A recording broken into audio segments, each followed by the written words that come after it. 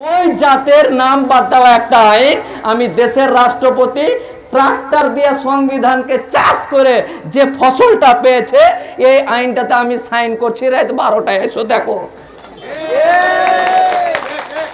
ওই শ্যামল, বিমল এদেরকে আমি বলতে চাই, মুসলিমদের আইন নিয়ে কোনো সমস্যা নাই। কিন্তু তুমি তোমার বিবেকে, তোমার হৃদয়ে হাত দিয়ে বলো যে তোমাকে যারা বলছে যে তোরা আসলেই এই তিনটা দেশ থেকে আসলেই কোলে করে নিয়ে এলে একদম বহনু করে নেব। তো ওদেরকে বলেন যে শ্যামল, বিমল, কমল, এই এই কাগজ দিলে আমরা বহনু মেনে নিব, এখন অবধি বলেনি।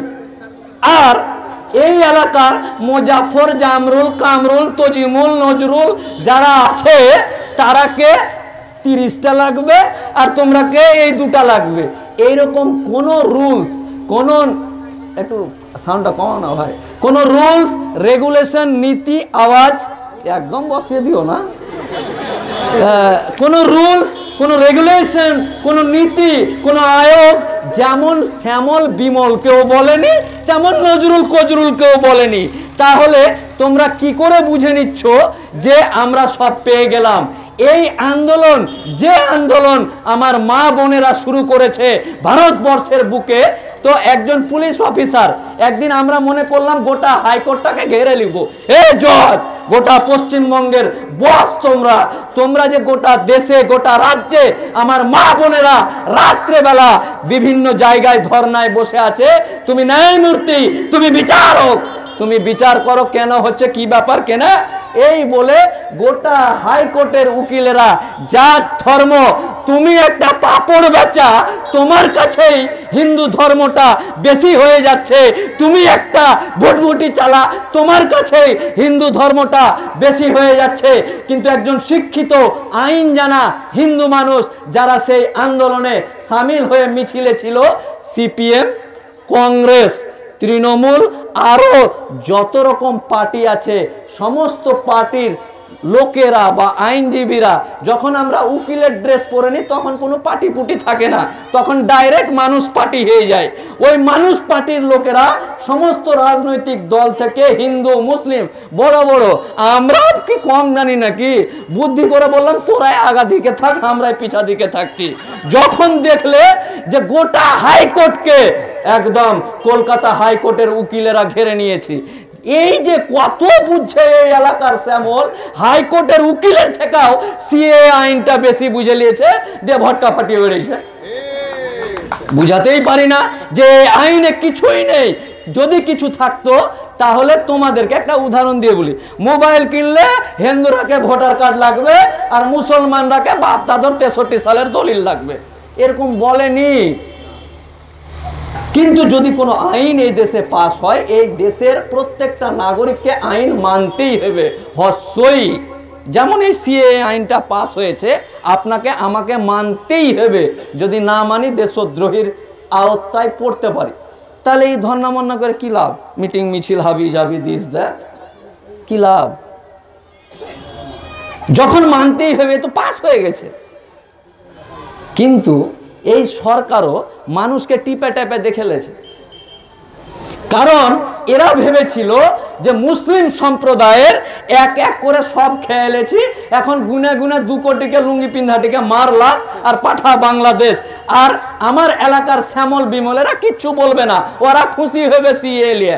কিন্তু হয়নি, আমার এলাকার শ্যামল যে আমার সাথে টিউশন পড়েছে, আমি বাইক নিয়ে যাচ্ছি জাঙ্গিপা জঙ্গিপুর থেকে লালবাগ ওর কাছে হেলমেট নাই। আমি বলছি, পিছা দিকে বস, শ্যামল, তোকে লুকিয়ে নিয়ে চলে যাব। এই সম্পর্ক, এই সম্প্রীতির দেশে শ্যামলরা বুঝলো যে না, এটা অন্যায়। দেশের প্রতি, সম্প্রদায়ের প্রতি। কিন্তু ওই তিনটা লোক ভেবেছিল, এটা আমার বাপের দেশ, আর হিন্দু জাতটার আমরা ঠিকা নিয়ে নিয়েছি, আমরা যা বলব তাই শুনব। কিন্তু এই এলাকার শ্যামল বিমলেরা ওদের কথা শুনেনি। দিয়ে এই সরকার কিন্তু রুলস, রেগুলেশন পার করেনি। এই আন্দোলন করে লাভ কি হয়েছে, উকিল সাহেব? সবই তো হইল লাভ হচ্ছে এই এই সরকার যখন এটা ক্যাসেট বাজানো শুরু করল, তখন ভেবেছিল যে ডাইরেক্ট মুসলমানদেরকে ঘাপাত মানে এখানে ধরে ঘাপাত করে নিব একদম। সবই তো আগে খেলেছি পরকে দিয়ে মহি, মুসলিম মহিলা হোক আর হিন্দু মহিলা হোক পরকে দিয়ে যে কোনো মহিলা যার মন তার সাথে যা ইচ্ছা তাই করতে পারে। আমি যার মন তার সাথে হাত ধরে টানাটানি করতে পারি, পরকিয়া খা। ছেলে ছেলেতে বিয়ে কর, মেয়ে মেয়েতে বিয়ে কর, সমক আমি তা আইন পাস করে দিয়েছি। আমি যদি মনে করি জঙ্গিপুরের মোজাম্মেলকে কাল বিয়ে করে বাড়ি নিয়ে যাব, কেউ কিছু বলতে পারবে না। এই আইন পাস হয়েছে? আর কি আইন পাস হয়েছে? না তো মসজিদ। আমার বাপ, দাদু যারা মুঠির চাল, বাড়ির সরষা, ধান, গম কে ঘাড়ে করে, ব্যাগে করে নিয়ে এসে মসজিদ তৈরি করেছে, আল্লাহর ঘর তৈরি করেছে, দেখবেন এলাকাতে বাড়ি ঘরের অবস্থাটা, একটা যদি এদিকটা বকরি ঢুকে ওদিকটা গরু, কিন্তু ওই এলাকাতে মসজিদ জীব দিয়ে চাটা যাবে কারণ আল্লাহর ঘরকে আমরা সম্মান করি। মুসলিম সম্প্রদায়ের মানুষ, ইসলাম ধর্মাবলম্বী যত মানুষ আছে, আল্লাহর ঘরকে আমরা তেমনভাবে সম্মান করি। কিন্তু সুপ্রিম কোর্ট বলছে যে এই মসজিদকে যদি আমি মনে করি বা কোনো সরকার মনে করে যে এই মসজিদটাকে সরিয়ে দিয়ে সমাজ বা দেশ উন্নয়নমূলক কাজ আমি করব। যেমন ধরেন জঙ্গিপুর স্ট্যান্ড, ওটা খুব বড় একটা মসজিদ আছে। সরকার মনে করল যে না, মসজিদটাকে হটিয়ে দেয় ওটা বাস স্ট্যান্ড করব। করতে পারে। যদি মনে করে না, মসজিদটা মেলা দিন থেকে আছে, হটাও এটাকে হটে ইলেকট্রিকের ট্রান্সফরমার বসাবো। সমাজের উপকার হবে। করতে পারে, এটা সুপ্রিম কোর্টের রায়। No BJP no RSS no Shivsena no বিশ্ব হিন্দু পরিষদ। ডাইরেক্ট সুপ্রিম কোর্টের অর্ডার আছে।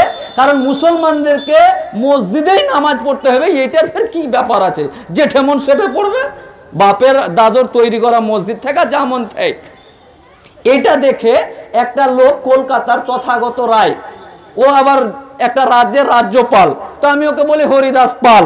একটা হরিদাস পাল যে রাজ্য থেকে রাজ্যপাল হয়ে ফিরছে, ওই দিন যেদিন এই আইনটা পাস হলো তিনটার সময়, যে মসজিদে নামাজ পড়া মুসলিমদের জন্য অপরিহার্য নয়, ওই আইনটা পাস হয়েছে, তার আগে তেষট্টি বার মেঘালয় না ত্রিপুরার রাজ্যপাল হয়ে আছে।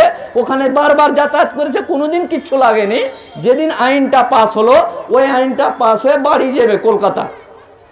আমার পরিচিত লোক, তথাগত রায়। তো এইবার ওই যেদিন যাচ্ছে, যারা হজ করতে গেছেন বা এয়ারপোর্টে গেছেন, তারা দেখবেন যে এয়ারপোর্টে ঢুকার ওখানে একটা মসজিদের মতন জিনিস আছে বা ঘর আছে। তো সেই দিনই যেদিন রায়টা পাস হলো, কত যে কুটকুট করতে লাগল নেমেই ও বলছে যে, মসজিদটাকে হটিয়ে দিলে ভালোই হয়। গাড়িখান ঘুরাইতে অসুবিধা হয়েছে। এতদিন আকাশ দিয়ে যেত, ওই দিনই যেদিন রায়টা পাস হয়েছে ইয়ে হয়েছে। এই গেল মসজিদ। আমরা ধরে নেন যে ইসলাম ধর্মের যত রুলস রেগুলেশন আছে, মানতে পারি না। চারটা বিহা করলেছি পঁচিশটা ই ঠিক মতন নামাজ পড়ি না, জুম্মা পড়ি তো খুদবা শুনি না খুদবা শুনি তো জুম্মার নামাজের সুন্নাত পড়ি না, এরকম ধরনের মুসলিম মানুষেরাও সবার ক্ষেত্রে, সবার কাছে বাবরি মসজিদটা ছিল হৃদয়ের জিনিস। কিন্তু এই বাবরি মসজিদটাকেও আইনের বেড়া জালে ফেলে আইনি জটিলতার মধ্যে খেয়ে নিল। আমরা দুঃখী হয়েছি। তিন তালাক মায়ের পেটের বহিন হয়ে গেল নরেন্দ্র মোদীর মুসলিম মহিলারা। যে তিন তালাক বিল উঠিয়ে দিল। কাশ্মীর থেকে আমার আদমের সন্তান, আমার মা হওয়ার সন্তান যারা কাশ্মীর থাকে, যে এক্সট্রা বেনিফিটটা পেত, ওই বেনিফিটটাকে উঠিয়ে দিয়ে রাতারাতি আইন। কোনো কিছু মানামানির দরকার নেই। যা মন চায় কারণ এই সরকারটা রাত আটটার সময় আইন পাস করে। আপনারা জানেন যে দশটা থেকে চারটা সরকারি কাজ হয়। কিন্তু সরকার রাত আটটা সরকার, টাকা বাতিল। আর যখন মানুষ লোটা লাদনা নিয়ে, লোটা বজনা নিয়ে সকালবেলা বাথরুম করতে যায় সকাল আটটায়, তখন মুখ্যমন্ত্রী হয়। সকালবেলা চোখ কচলাতে কচলাতে উঠেই দেখছি যে মহারাষ্ট্রে মুখ্যমন্ত্রী হয়েছে। কি ব্যাপার, কি হলো? না তো সকাল আটটায় মুখ্যমন্ত্রী হয়। এই দেশে কখন কি হয় বলা যায় না। তবুও মুসলিম সম্প্রদায়ের মানুষ, আমরা যে ধর্ম ফলো করি, আমরা যাকে গুরু বলে মানি বিশ্বনবীকে আমরা যেহেতু গুরু বলে মানি, তিনি আমাদেরকে শিক্ষা দিয়েছেন ধৈর্য করতে। তাই ধৈর্য করতে করতে এরা ভাবলো যে এর কোনো ব্যাপার নেই, কিছু হবে না সিএ করে পাস করে দেয় কিন্তু এই আইনে কোনোভাবে কোনো মুসলিম, কোনো হিন্দুর লাভেরও ব্যাপার নেই, আতঙ্কিত হওয়ারও ব্যাপার নেই। এই আইন টিকতে পারে না। সুপ্রিম কোর্টের এবার গল্প বলি। সুপ্রিম কোর্টের গল্প বলি মানে তাড়াতাড়ি করে খালি মেন গল্পগুলো বলছি। সুপ্রিম কোর্টের গল্পটা দেখেন। সুপ্রিম কোর্টে কিছু মানুষ ওয়েলফেয়ার পার্টি উমুক তুমুক যারা দেশ সমাজকে ভালোবাসে, যেই দিন এই আইনের কথা হলো, সুপ্রিম কোর্টে গিয়ে মামলা করল, হে হুজুর, ন্যায়মূর্তি, বিচারপতি, দেশের তুমি সব থেকে বড় শক্তিশালী লোক, তোমার কাছে আমার ফরিয়াদ, গোটা দেশে অশান্তি চলছে, একটা আইন পাস করেছে এই সরকার, এই আইনটাকে ইমিডিয়েট দ্রুত দ্রুত বন্ধ করো। এই মামলা করল। এই আইনে দেশের মানুষের লাভ নেই। এই মামলা যখন করল, সুপ্রিম কোর্টকেও যে কে নজর লাগিয়ে দিয়েছে, আমি মনে করছি পয়সা খরচ করে যে নজর লাগলে বলে নেম্বু আর মরিচ বেঁধে দোকানে যেরকম ঝুলায় ওখানে যে ঝুলিয়ে আসব নাকি, এটাই ভাবছি। ওই জজেরাও ওই জজেরাও যেদিন মামলার হিয়ারিং হচ্ছে, বলছে এখন এগুলা শোনা যাবে না, তখন ঠান্ডা মানে মামলাটা হয়েছে নভেম্বরের দিকে। তো ঠান্ডার ছুটিটা চলে যায় গরম পড়ুক, শীতকালীন আমাদের ছুটি হয় হাইকোর্ট, সুপ্রিম কোর্ট। শীতকালীন ছুটির পর যখন গরম হবে তাঁতবে বেশি, তখন শুনব। বাইশে জানুয়ারি ডেট দিয়ে দিল। আর যেমন দেখেন, জমির যদি গন্ডগোল হয় ওয়ান ফর্টি করে দেয় যে কেউ লাড়তেও পাবি না চুটতেও পাবি না। তো আমরা বলেছিলাম যে আইনটা বা এই ওয়েলফেয়ার পার্টি থেকে শুরু করে, আনো, অনেক মানুষ মামলা করেছিল, ওরা বলেছিল যে এই যে এনপিআর সিএ এর ব্যাপারটা এনআরসির ব্যাপারটা, আপাতত ওয়ান ফর্টি করে ছুঁয়ে দেন আর বিচারটা আপনি শুরু করেন। জজ বলল যে, না, ওগুলো চলছে, চলুক। বাইশ তারিখে ঠান্ডার ছুটির পর শুনব। যেই দিন সুপ্রিম কোর্টে এই মামলা হচ্ছে, সব কাজ বাদ দিয়ে টিভিতে মুখ লাগিয়ে বসে আছি। মুখ, চোখ, আটত্রিশ করলা লোক, চার পাঁচটা চোখ লাগিয়ে বসে আছি। বলছে যে পাঁচটা জজ দিব। ছত্রিশটা কোর্ট বসাবো, এই করব, পাঁচ দিন সময় দিন, ছত্রিশ দিন এই দিন, চোদ্দ রকমের কাগজ লিয়া, এই দেখব, দিয়ে আমি শুনব। আমি বলছি, সুপ্রিম কোর্ট বা হাইকোর্ট যদি মনে করে যে রাত বারোটার সময় এই মুরগি চোরটার বিচার করব, করতে পারে। দিল্লি হাইকোর্টে এই তো তিন চার দিন আগে দাঙ্গার সময় দিল্লি হাইকোর্টে রাত বারোটার সময় একটা জজ ডেকে বিচার করেছে, এটা পারতো। দেখেন, বাবরি মসজিদের রায় হওয়ার কথা ছিল সতেরো তারিখে।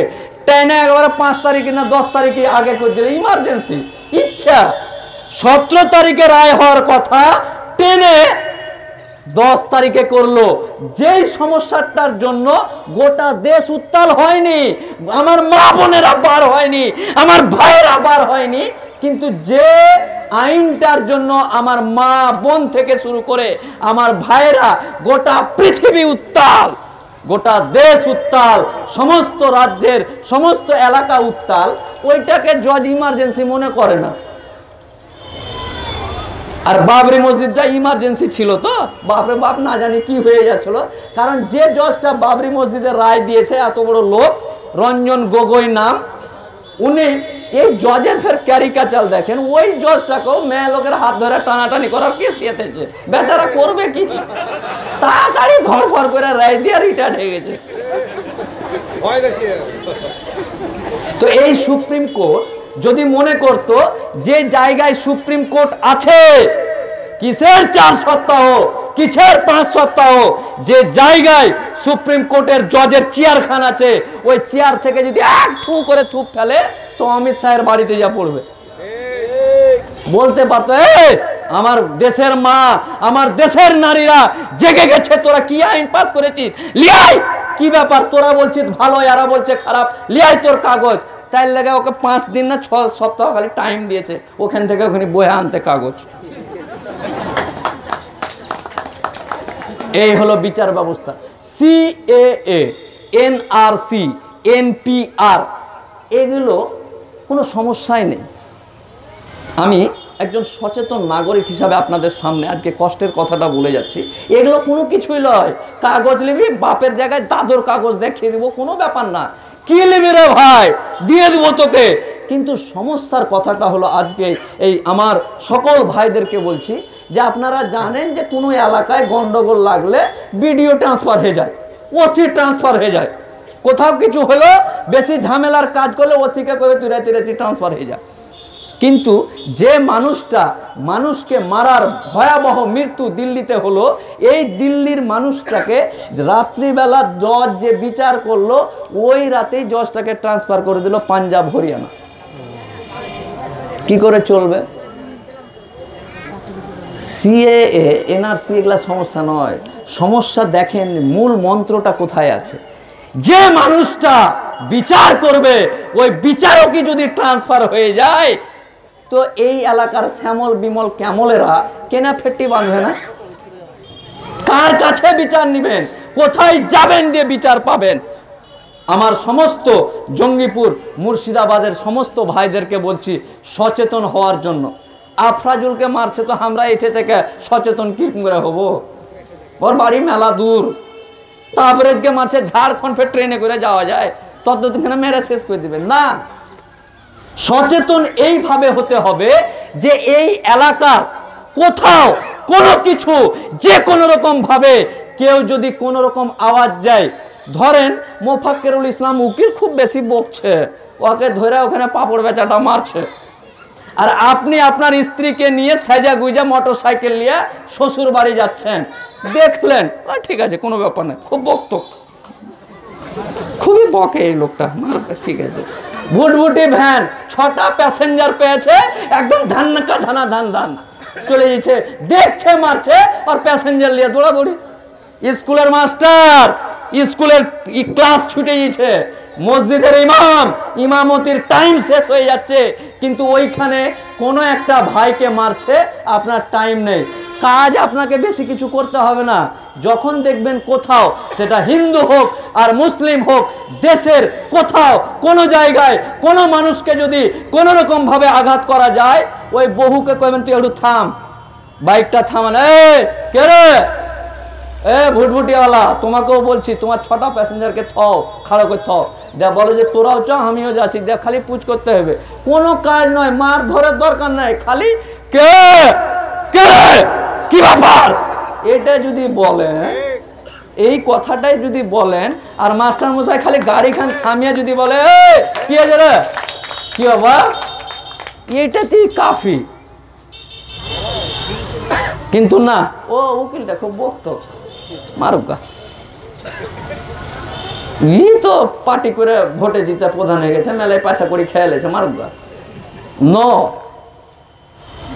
আপনার আক্ষেপ, আপনার অভিযোগ যদি কোনো কিছু থাকে, তাহলে তার সাথে বসে কথা বলুন। কারণ দেশের আজকের দিনে যে ভয়াবহ পরিস্থিতি, এই পরিস্থিতি আপনাদেরকে বোঝাতে পারব না।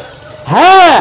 মসজিদের মিনারে উঠে মসজিদের মিনারকে ধ্বংস করেছে। মসজিদের মিনারের মাইককে ছুঁড়ে ফেলে দিয়ে মসজিদের জায়গায় কোনো একটা পতাকা টাঙিয়ে দিয়েছে। আমরা নয়, আমরা ধন্যবাদ জানাই।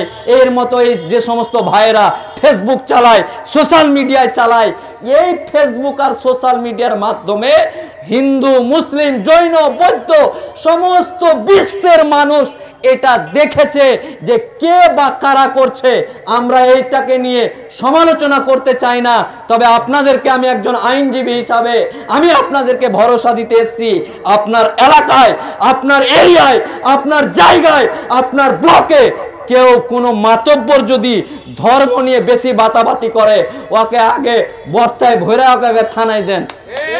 সে হোক হিন্দু, সে হোক মুসলমান। ধর্ম নিয়ে মাতামাতি কোনো ধর্ম শেখায় না। আর এটা নিয়ে যদি এরপর কোনোভাবে কেউ কোনো রকমভাবে মাতামাতি করে দেশে সম্প্রীতি নষ্ট করতে চায়, এলাকায় হিন্দু মুসলিমের ভ্রাতৃত্ব নষ্ট করতে চায়, তাকে আগে কলারটা দিয়ে ধরেন আর ভিডিও করেন যে এই লোকটা, এই চামারটা, এই ছুচাটা, এই এলাকার এই এলাকার সম্প্রীতি নষ্ট করতে এসে দেখেন দেখেন দেখেন। এরকম করে দেখান দিয়ে ভিডিও করেন আর ওকে বস্তায় ভরে থানায় ফেলে আসেন। আর দিল্লি পুলিশের মতো এই রাজ্যের পুলিশ যদি আপনার কথা যদি এরকম করে খাড়িয়ে থাকে, বস্তা থেকে বের করে ওকে চা খাওয়ায়, তো ওইটাও ভিডিও করেন। দিয়ে কিছু করার দরকার নাই, খালি মানুষকে দেখে দেন যে এই লোকটা ছুচা। মানুষ বিচার করবে। কোন মানুষ, কোন হিন্দু, কোন মুসলিম নিজের এলাকাতে সম্প্রীতি নষ্ট করতে চায় না। কিছু ওই ফ্যাটফেটিওয়ালা ধানকুটা মিলের মালিকেরা যারা আইন জানে না, তারা বিনা কামে খালি উস্কে আর পিনকে চলে গিয়েছে আর এলাকায় ঝামেলা লাগিয়ে দিচ্ছে উড়িষ্যাতে কালকে অমিত শাহ, আজকে কি বলেছে এখনও শুনতে পাইনি ব্যস্ততার কারণে, নাহলে আজকে রাত্রে জালসা আছে, ওখানে যে ধুনবো। কিন্তু উড়িষ্যাতে উড়িষ্যাতে কালকে বলছে, মুসলমান কো কোই ডরনে কি জরুরত নেই? কে যে ওকে ডরিয়া বাংলাদেশ চলে গেছে? কে ওকে ডরায়? হ্যাঁ? মুসলমানকে ডরাইতে হবে না। কে ওকে ডরালছে ওরা বেশি? বলেই বারবার খালি ওইটা কথা কইছে। ডরাবে দরকার নাই ডরাবে দেখবেন যে আমি যদি কোনো জায়গায় না যাই, তো খালি কি হলো? কি খবর? কেনা? কি ব্যাপার? খালি চোদ্দ বার খবর নিব তো ঠিক ওই রকমই ডরালছে ওরা আর দোষ চাপাইছে আমার গাড়ে। আমরা কাহারি দোষও নিব না, ঝামেলাও করতে যাব না। আমরা এ দেশের নাগরিক, আমার বাপ, আমার দাদু, আমার চোদ্দ গোষ্ঠী যেমন বুক ফুলিয়ে এরকম করে চলেছে, চলবো। দেখেন আমার দাদুর নাম, আমার দাদুর নাম গরিব ছিল কাসিমুদ্দিন মণ্ডল। ইংরেজের আমলে একটা মাথল মাথায় দিত। আর গরিব ছিল তো গরুর গাড়ি চালাইতো। আর গরিব থাকলেও পানের মানে পানের বস্তা এখানে বেঁধে সবসময় খালি পান খাইতো। তো তখনকার দিনে ইংরেজ পুলিশরা হাফ প্যান্ট পিন্ধা আর মাথায় গোল টুপি টিভিতে দেখেছেন। তো ওই রকম পুলিশরা চলে গিয়েছিল এই কাসিমুদ্দিন মণ্ডল, কত বড় লবাবের লাট আছে তুই হ্যাঁ? তখন বলছে আমার দাদু যে হ্যাঁ রে বেটা, আমি লবাবের লাট স্যালুট কর। তো আমার দাদুরা এরকম করেছে আর তার লাতি পোতারাকে কেউ কোনোভাবে যেমন আমার দাদরা নবাবের লাট হয়ে চলেছে, আমরাও তার ছেলে, তার ওরসে জন্ম, আমরাও এদেশে রক্ত থাকা পর্যন্ত একদম বুক ফুলিয়েই চলবো। সকলেই ভালো থাকুন, আর আইন নিয়ে বেশি ঘাবড়ানোর আতঙ্কিত হওয়ার ব্যাপার নেই। আন্দোলনটা কেন করতে হবে আর একটু বলি।